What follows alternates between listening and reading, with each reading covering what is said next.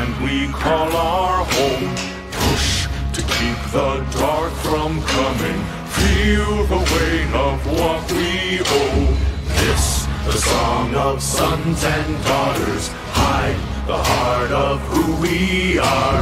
Making peace to build a future, strong, united, working till we fall.